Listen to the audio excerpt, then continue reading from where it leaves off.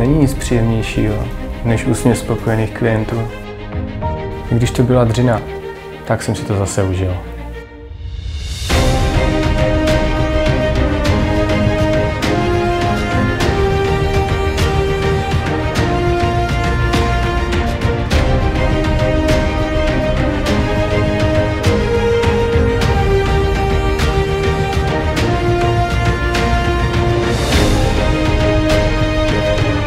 Tak, a tady bych mohl říct něco, co vystihne to teplo domova.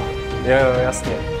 Třeba hledáte podobné bydlení, kde si můžete užít to teplo domova, které vám vykouzlí ten úsměv na tváři. Pokud chcete i vyprodat vaši nemovitost s úsměvem, tak jsem tu pro vás.